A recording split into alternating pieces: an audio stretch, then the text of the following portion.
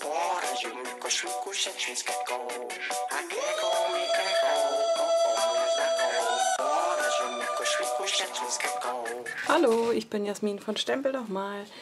Ähm, heute gibt es nichts Kreatives, naja, schon, aber nichts Gebasteltes. Ich möchte euch heute den neuen äh, Stampin' Up Hauptkatalog vorstellen.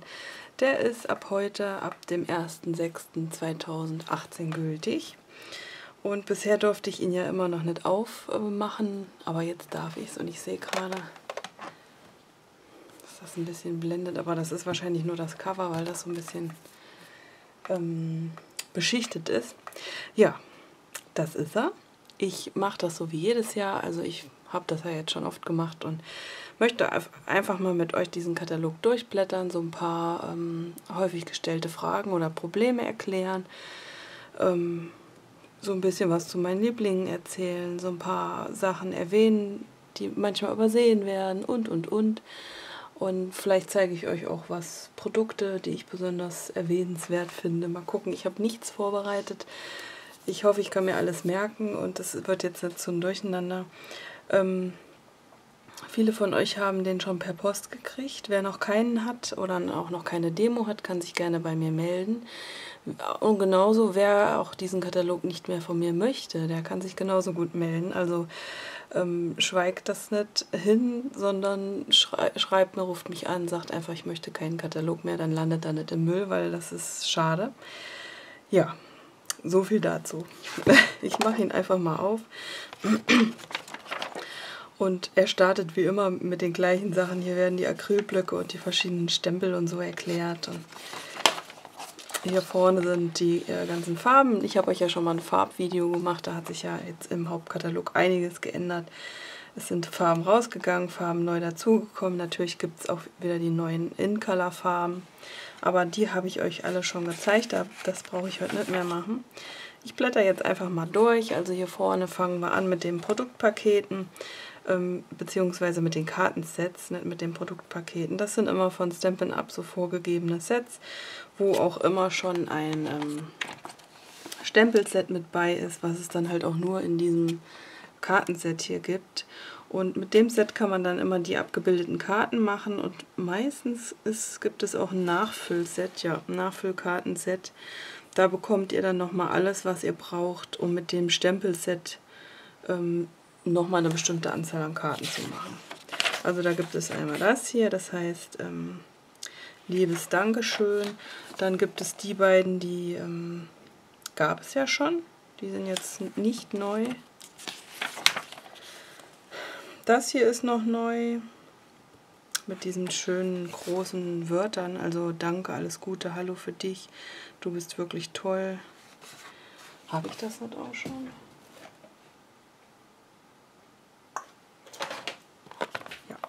Da seht ihr mal, wie groß die wirklich sind.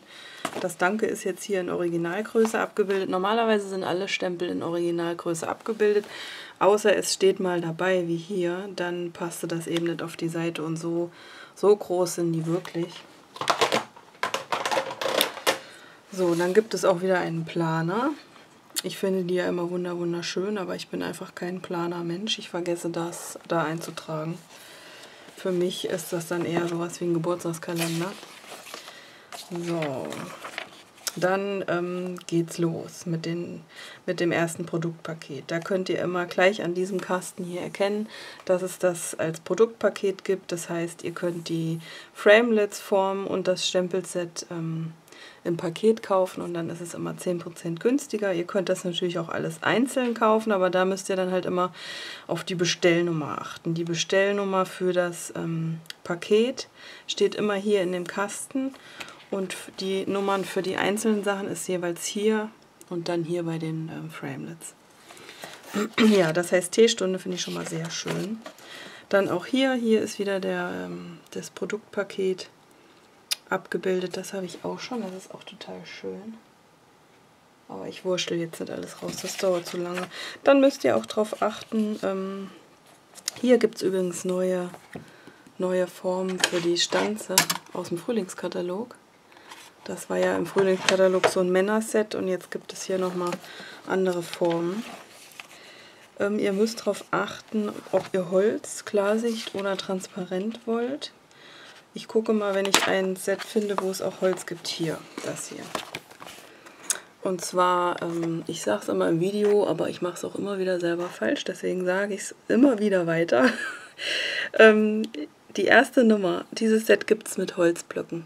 Die erste Nummer, die hier steht, sind die Holzblöcken. Die zweite Nummer ist dann ähm, das, das Set für transparente Blöcke. Also da müsst ihr drauf achten. Wenn ihr das über mich bestellt, also wenn ihr mir die Bestellung per E-Mail schickt oder mich anruft, dann achte ich da meistens drauf, weil ähm, 98% meiner Kunden kein Holz wollen und das dann immer ein ähm, Versehen ist. Aber wenn ihr selbst über meinen Online-Shop bestellt, dann habe ich natürlich keinen Einfluss darauf und dann hat man auch schnell mal was falsch bestellt. So. Hier ist auch total süß mit so einer kleinen, ist es eine Dogge? Ich weiß es nicht. Wild auf Grüße, da gibt es jetzt hier, das habe ich auch noch nicht, das gibt es so nicht. Also ich konnte es bisher noch nicht bestellen als Vororder. So ein äh, Blätterband, da bin ich schon gespannt drauf. Seht ihr so alles? Hier sind die Schweinchen, die gab es schon. Hier gibt es eine neue Handstanze und da ist das passende Set zu. Und wo ich mich schon sehr drauf freue, weil ich liebe diese Pillowbo ähm, Pillowboxen, sind hier diese Framelits. Da kann man dann noch so ein, entweder hier ein Herz oder ähm, hier so eine, so eine Bordüre oder halt so ein, so ein rundes Teil, kann man den jeweils einen anderen Kopf geben. So nenne ich es jetzt mal. Es gibt auch was für Ostern, Hasengrüße heißt es. Das wird ja immer so ein bisschen vermisst.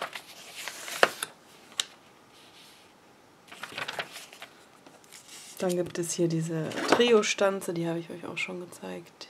Die kann drei verschiedene Ecken stanzen. Hier haben wir ein echt großes Haus als, als Framelits hier unten.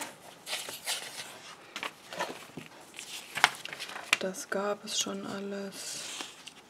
Das ist jetzt auch Premiere, dass es sowas hier gibt. Und zwar ist das ein, ähm, eine Stanze, ein Stempelset. Hier diese beiden kleinen Stempelkissen und ein Acrylblock. Das gibt es alles in dieser total schönen goldblauen Dose. Und man kann es aber nur in diesem Set ähm, bestellen. Die Stanze gucke ich gleich nochmal, aber ich meine, die gibt es auch nicht einzeln. Aber da will ich jetzt nicht gucken gleich mal. Ich meine, so wäre es gewesen. Ja.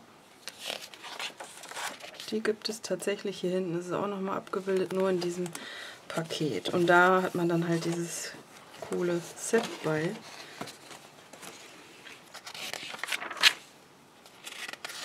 Blümchen, klitzekleine Größe. Das ist auch so ein bisschen was für, ähm, Ersatz für kleine Wünsche.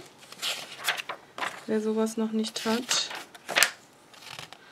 Das gab es schon alles. Dann hier eine neue, ich, ja, es könnte schon eine Männerserie sein. Es ist jetzt so ein bisschen auf Reisen abgestimmt, aber das Papier und die Farben sind schon auch sehr männlich. Total hübsch hier ein Traumfänger oder hier diese großen Wörter. Das gab es auch schon alles. Das ist auch interessant und das ist auch ähm, von einer, die die Million geschafft hat. Von einer Demo. Das gab es auch schon alles.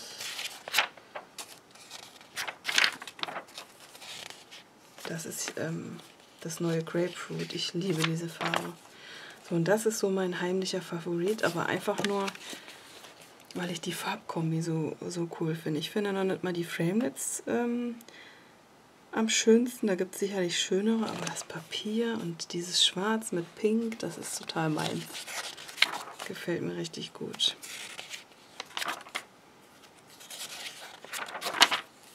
Das ist auch interessant. Das sind vier so große ähm, Stempel, die dann eben das Wort abstempeln und im Wort ist immer noch so ein Hintergrund eingebaut. Was ich immer ein bisschen schade finde, aber das lässt sich wahrscheinlich aus Platzgründen nicht anders machen, dass die ähm, Framelits hier immer total winzig abgebildet sind. Aber die könnt ihr hinten im Katalog immer nochmal ähm, größer anschauen. Oder was ihr auch machen könnt, ihr könnt die Artikelnummer einfach mal bei mir im Online-Shop eingeben. Ähm, und dann könnt ihr da das Bild ein bisschen größer euch angucken.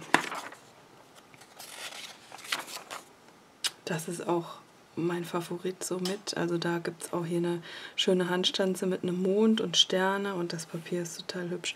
Und Pailletten, äh, Funkelsterne selbstklebend.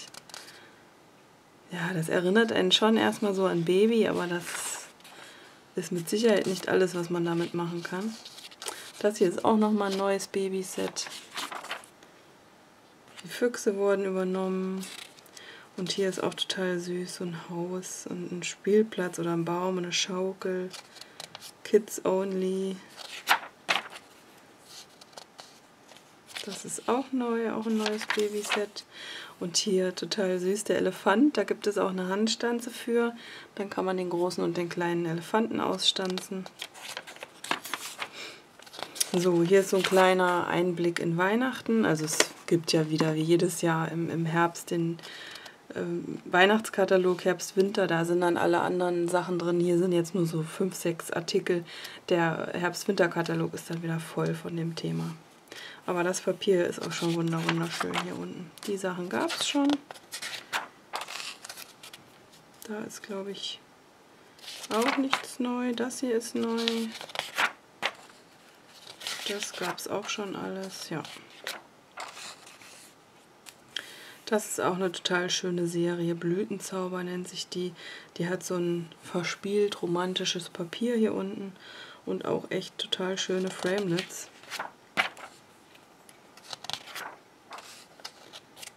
Und es gibt auch ein paar Stempel, die so ein, ich weiß jetzt nicht, wie man diesen Effekt hat, aber das gab es in der Celebration ja auch schon, dass das so ein bisschen aussieht wie ein Foto, so 3D-mäßig. Also der, der Stempel ähm, stempelt die Tinte an unterschiedlichen Stellen unterschiedlich dick ab.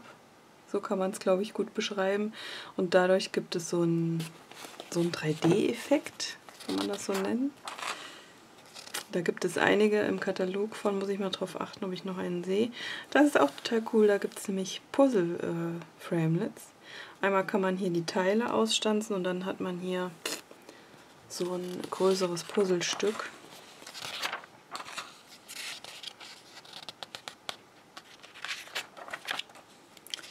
Das ist, na, das ist neu, das gab es schon. Und jetzt hier mein Favorit. Also ich, ich würde es auch schön finden, wenn es jetzt nicht gerade im Trend ist, aber man sieht es ja in allen Geschäften. Diese großen Palmenblätter hier und überall kann man Deko und Accessoires mit diesen Mustern kaufen. Und auch das Papier finde ich total schön. Da achtet aber drauf, das ist 15 x 15, also das ist kein großes Designerpapier, sondern hm, der bekommt ja diese kleinere Packung. Und hier die Framelits auch voll cool. Alle Blätter kann man ausstanzen und man kann hier so ein so ein aneinanderhängendes Blättergewusel ausstanzen. Aber die Farben und alles gefällt mir richtig gut. Das ist auf jeden Fall, kommt es in meine erste Bestellung. Da freue ich mich schon drauf. Das habe ich euch ja beim letzten Mal vorgestellt, den schönen neuen Schmetterling. Und hier auch voll cool, mal wieder so nur Hintergründe. Das ist auch total genial für Anfänger. Da hat man im Nu schon irgendwie einen Kartenhintergrund gezaubert.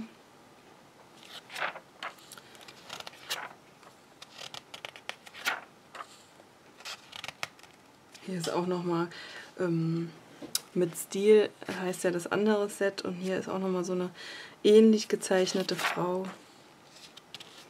Die Sonnenblumen werden übernommen, da freuen sich mit Sicherheit einige. Und auch hier der Flamingo, da habe ich auch letztens erst ein Video mitgemacht. Und auch eine meiner Lieblingsreihen ist das hier. Das habe ich euch schon vorgestellt, da habe ich auch schon mit gebastelt. Kraft der Natur. Das ist auch mega hübsch. Und auch das Designerpapier gefällt mir voll gut. Es ist zwar so ein bisschen herbstlich angehaucht, aber das ist so schön, das kann man das ganze Jahr übernehmen. Ach, hier ist nochmal so ein, so ein Stempel. Distinctive. Dist wie auch immer man das ausspricht. Das ist extra markiert. Müsst ihr mal drauf achten. Das sind diese Stempel mit dem besonderen Effekt. Hier unten auch nochmal. Katalog ist so groß, ich kann das immer gar nicht hier reinhalten in die Kamera. Tintenfisch habe ich euch auch schon gezeigt. Und das ist auch nochmal so ein Set damit.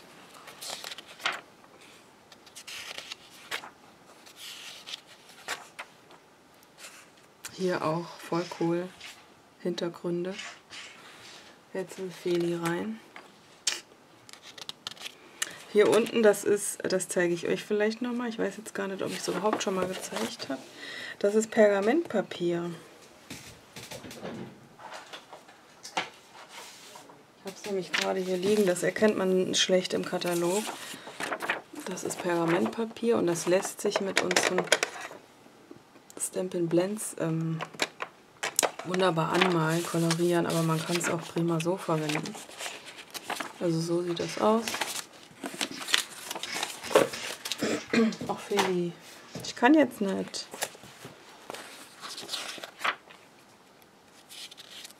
Hier gibt es auch ähm, Framelits, die so eine Aufklappkarte machen, wo man dann hier die Blüte als Verschluss nutzt.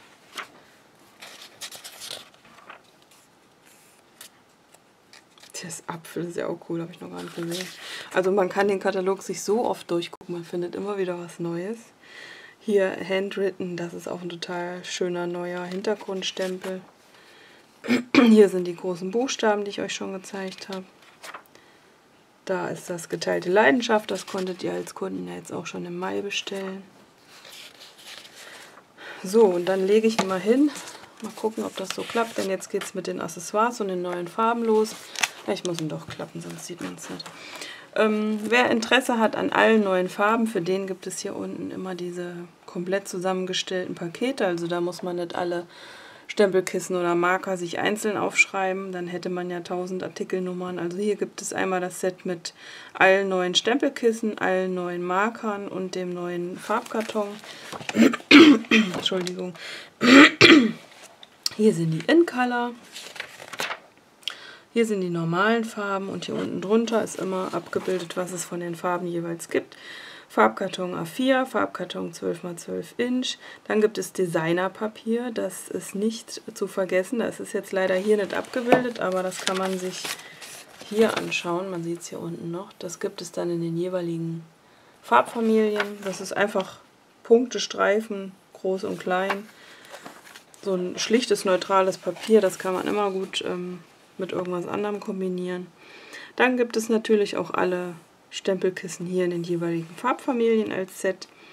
Es gibt zum Glück wieder die Nachfülltinten im Set. Es gibt die Marker, aber hier Marker in, ach, Marker in Jade und Kussrot. Das, Kussrot, das ist ein Doppelpack. Und dann gibt es die Marker nochmal ähm, komplett. Es gibt aber die Marker nicht einzeln. So, das war's. Hier geht es weiter mit dem Designerpapier. Da ist jeweils immer auch gleich schon eine farblich passende Packung Farbpapier mit, äh, Farbkarton mit dabei. Und hier dieses lasergeschnittene Papier, das habe ich euch auch schon gezeigt. Wer das alles noch nicht gesehen hat, ich habe mal ein Video von meiner Vororder gemacht, da habe ich euch das gezeigt. Ja, hier sind dann wieder die kleinen Papiere. Alle Papiere auf der Seite sind 15 x 15 so, und das ist immer so, die Accessoires sind immer, wenn, wenn wir einen neuen Katalog bekommen ähm, auf dem On-Stage-Event, dann fange ich immer von hinten an, weil das interessiert mich immer am allermeisten. Also es gibt neue Zierdeckchen in Bunt und in Weiß. Es gibt hier Teedosen in Kupfer, die sind auch hier vorne bei diesem Teestunde. Da passt das dann zu. Da kann man dann wunderbar auch gucken, wie schön die Teedose da ist wunderbar Tee oder irgendwas mit verschenken. Hier ist dann nochmal der ähm, Farbkarton in ähm, Vanille und Flüsterweiß in extra stark und in den beiden Farben auch in groß. Es gibt leider den schwarzen nicht mehr in groß. Und hier vorne ist weiß, Vanille und schwarz in A4. Und den Stampin' Right Marker in schwarz gibt es hier auch einzeln. Also das ist jetzt da. Klarsichtfolie, Pergamentpapier, Glitzerpapier, da gibt es Sternschimmer, ist jetzt neu. Oder rosa? Ich weiß jetzt gar nicht. Rot gibt es auf jeden Fall nicht mehr. Ich habe einen Frosch im Hals, tut mir leid. Hier sind die Tüten, die es alle gibt. Und neu sind jetzt sandfarbene Kissenschachteln, das finde ich sehr gut. Und hier diese, ich habe sie gerade hier, diese, diese Täschchen hier, die man so selber zusammenbauen kann, gibt es jetzt auch in Schimmerweiß. Das sind ähm, neue Umschläge und Karten, die habe ich euch auch schon gezeigt. Hier ist jetzt nichts neu. Hier sind alle Accessoires und äh, wir haben gedacht, wo sind die Strasssteine? Aber ihr müsst mal gucken, die Perlen und die normalen Strasssteine sind hier unten mit abgebildet. Da sind jetzt nur ähm, der Straßschmuck in Rot, weil der ist neu, der ist jetzt hier abgebildet. Aber es gibt hier unten noch den normalen Straßschmuck und auch die ganz normalen Perlen, die stehen hier unten drunter. Alles andere, bis auf das, das gab es schon, ist neu. Also hier mit Glitzereffekt, Sternchen, äh, Metallic-Perlen in Gold und Silber. Hier diese kleinen bunten und die Sterne aus der Babyserie. Also das ist alles neu. Dann gibt es auch neue selbstklebende Pailletten. Die gab es ja schon im Frühlingskatalog in so knalligen Farben. Es gibt neue Sticker in Kupfer. Bisher gab es die immer... Nein, das sind sie nicht. Ach nee, doch. Nein, doch. Bisher gab es die immer in Gold, aber die neuen sind jetzt in Kupfer. Ach, Lineal. Geh doch weg. So. Dann gibt es endlich mal wieder so kleine Klammern, Brads mit ähm, ja, teilweise so einer Knopfoptik. Dann kleine Metallkerzen, äh, diese Blätter aus der schönen, äh,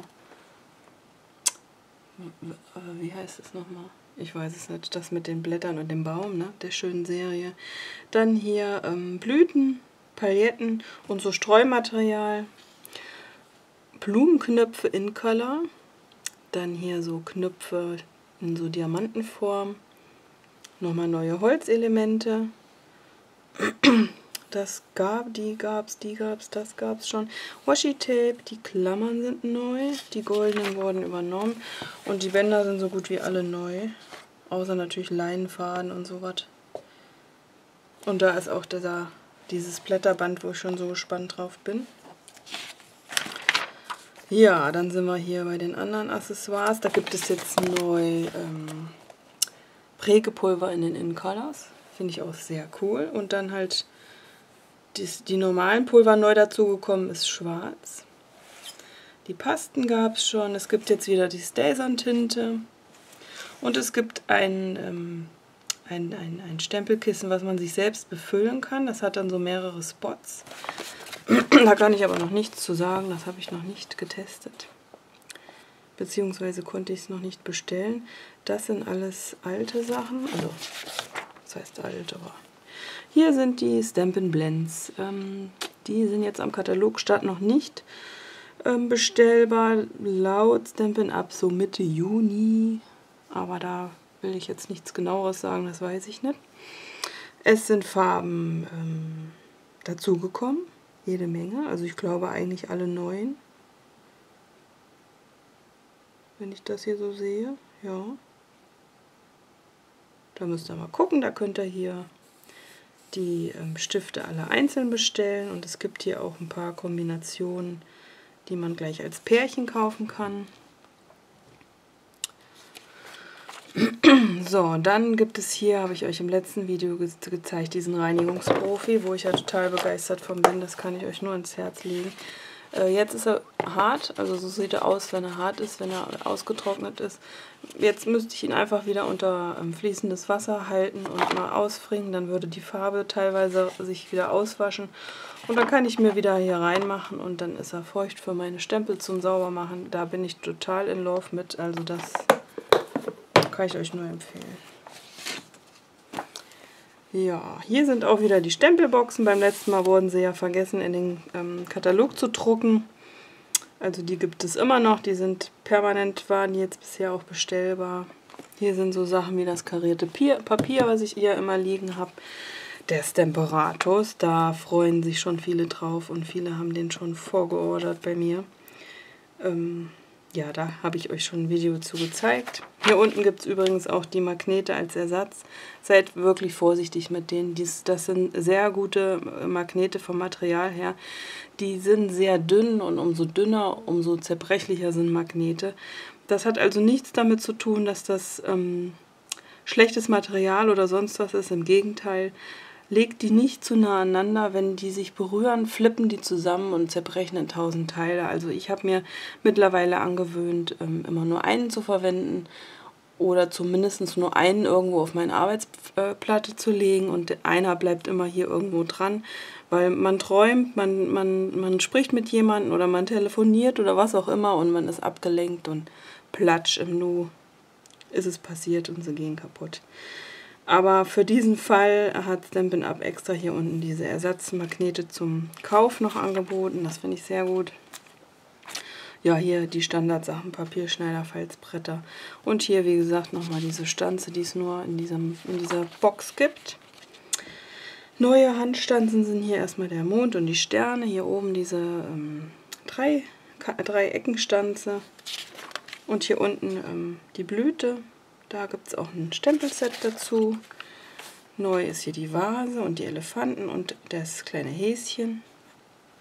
Kleber ist alles so geblieben, außer dass der Fast Fuse leider raus ist. Aber ich werde ihn jetzt in meinen Videos trotzdem weiterverwenden. Ich versuche ja immer aktuell zu sein mit dem, was ich benutze, aber ich habe so viele Nachfüller von dem, dass ich das jetzt erstmal aufbrauchen werde. Ja, hier hinten geht es weiter mit den ähm, Framelits, Sinlits, wie sie alle heißen. Hier ist auch diesmal so ein bisschen was farblich markiert. Und zwar ähm, alles, was grau markiert ist, funktioniert komplett mit den normalen Platten.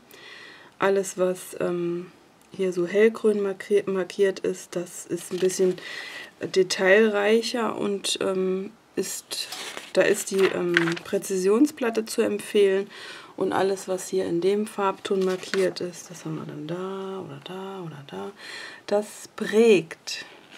Also diese Formen prägen. Das finde ich sehr hilfreich, gerade für jemanden, der startet und sich da überhaupt noch nicht so mit auskennt. Also hier ist alles so ein bisschen markiert, damit ihr wisst, was die Formen machen. So, hier neu gibt es eine Prägeunterlage. Damit könnt ihr mit den ganz normalen Formen ähm, in euer Papier prägen. Da muss man dann so ein bestimmtes Sandwich aufbauen. Wenn ich das komplett verstanden habe, dann werde ich euch davon mal ein Video machen. Ich habe es bisher erst einmal ausprobiert. So, und dann gibt es ganz viele neue Prägeformen. Da war ich ja echt platt. 1, 2, 3, 4, 5, 6, 7, 8 neue. Äh, hier ist es auch wieder farblich unterschiedlich. Alle hellen sind diese Tiefenprägeformen. Da braucht ihr dann immer nur eine Acrylplatte und die ähm, machen ein tieferes Muster ins Papier und alle dunkleren sind die normalen. So, dann sind wir durch mit dem normalen Katalog. Ähm, es gibt immer die Möglichkeit, dass ihr auch selbst Demonstratorin werden könnt. Ähm, dazu gibt es hier das Einsteigerangebot. Ihr könnt euch bei Stamp, ihr könnt bei Stampin' Up einsteigen und ähm, müsst 129 Euro ausgeben, bekommt Material für 175 Euro. Das ist halt dieses normale Einsteigerangebot und ihr könnt Shopping-Vorteile nutzen ähm, als Kunden oder auch als Demo. Und da ist immer hier die Tabelle. Also wenn ihr bei 200 Euro fangen die an, wenn ihr für 200 Euro bei mir bestellt, dann bekommt ihr 10% Shopping-Vorteil und das sind bei 200 Euro 20 Euro. Also könnt ihr euch für 20 Euro dann noch zusätzlich was aussuchen. Ähm, ab wenn es bei 550 äh, endet, dann bekommt ihr schon 14% und einen halben Artikel. Das staffelt sich immer so ein bisschen, je nachdem, auf welchen Betrag man kommt. Und wenn ihr Freibetrag habt, dann könnt ihr alles aus dem kompletten Katalog bestellen. Aber auch hier hinten die Gastgeberinnen-Sets und die gibt es nur für den Freibetrag. Die kann man nicht normal kaufen, sondern man kann nur den Freibetrag dafür ausgeben. Ähm, der Preis steht immer vorne und der Wert steht immer dahinter in Klammern. Also das Set kostet ähm, 16 Euro von eurem Freibetrag hat aber einen Wert von 27 Euro. Also so ein, die sind alle vergünstigt und wie gesagt, sind nur für den Freibetrag zu bekommen. Da sind diesmal auch wirklich echt schöne dabei. Hier Blümchen und hier so ein bisschen Vintage. Ein Erdbeerstrauch. Die hier, das ist die Frau. Also wer ähm, so ein bisschen die Blogs von uns Demos äh, durchstöbert und auch bei Facebook guckt, der hat das bestimmt schon gesehen. Da haben schon ganz viele mit gebastelt. Und hier ähm, ist so ein kleiner Topf mit, mit Gewürzen. Hier oben sieht man es. Hier ein Schwan und Vögelchen in so einem Origami-Style. Auch witzig. Und das war's. Inhaltsverzeichnis. Hier sind auch nochmal alle ähm, Stempel mit Motiven. Und hier sind nochmal diese Distinctive, Distinct, ich kann es nicht aussprechen, diese besonderen Stempel, die ich euch schon im Katalog gezeigt habe. Ja, das war's. 30 Minuten gequatscht. Ich hoffe, euch hilft dieser Einblick. Solltet ihr trotzdem noch irgendwie Fragen haben, könnt ihr euch gerne bei mir melden. Ich wünsche euch viel Spaß mit dem tollen Katalog. Vielleicht habt ihr ja Lust, ähm, mir zu schreiben, was euer Favorit ist. Da bin ich gespannt. Dann kann ich vielleicht auch meine nächsten Videos da so ein bisschen nachrichten. Äh, ja, ich wünsche euch viel Spaß und bis zum nächsten Mal. Tschüss. Hallo, da bin ich nochmal. Ich würde mich freuen, wenn du hier mir ein Abo schenkst wenn du hier aufs nächste Video klickst und wenn du hier meinen Blog besuchst. Bis zum nächsten Mal.